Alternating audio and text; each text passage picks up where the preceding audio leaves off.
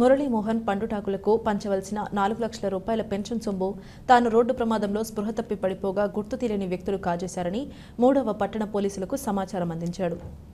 Pension పంపిణీ కార్యక్రమానికి ప్రభుత్వం ఏడవ వార్డు సచివాలయ సెక్రటరీ మురళీమోహన్కు నాలుగు లక్షల రూపాయలు అప్పగించగా ఉదయం నాలుగు గంటల నలభై ఐదు నిమిషాల ప్రాంతంలో తాను గోకుల్ నగర్ నందు పెన్షన్ పంపిణీ కొరకు సొమ్మును తన ద్విచక్ర వాహనం నందు తీసుకుని వస్తుండగా తనకు ప్రమాదం జరిగి సొమ్మసిల్లి పడిపోయినట్లు ఎవరో గుర్తు తెలియని వ్యక్తులు పెన్షన్ సొమ్మును అపహరించినట్లు పోలీసులకు సమాచారం అందించాడు.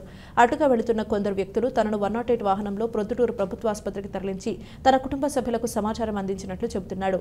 జిల్లా ఆసుపత్రికి చేరుకున్న పోలీసు అధికారులు స్థానిక మున్సిపల్ కమిషనర్ దగ్గరలోని సీసీటీవీ ఫుటేజ్లను పరిశీలిస్తున్నారు. ప్రస్తుతం సెక్రటరీ మురళీమోహన్ ప్రభుత్వ ఆసుపత్రి నందు మోకాలికి దెబ్బ తగలగా చికిత్స పొందుతున్నాడు. నా పేరు మురళీమోహన్. నేను ఏడో వార్డు సచివాలయంలో పనిచేస్తాను వార్డు మీడియా సెక్రటరీగా.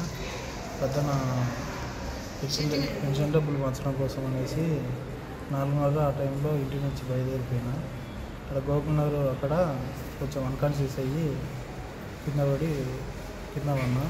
దాంట్లో బ్యాగ్లో నాలుగు లక్షలు పెన్షన్ అమౌంట్ ఉంది అది మిస్ అయింది అమౌంట్. తర్వాత ఇక్కడ దారిన పోయే కొత్తను నన్ను లేపి ఇక్కడ వన్ నాట్ ఎయిట్కి ఫోన్ చేసి మా ఫ్యామిలీ వాళ్ళకి ఇన్ఫామ్ చేశారు. పంపించారు. నా నమోదు చేశారా? చెప్పిన ఏం తీసుకొచ్చాను ఏ టైం జరిగింది? నాలుగున్నర తర్వాత నాలుగు ముక్కాలు ఆ టైంలో.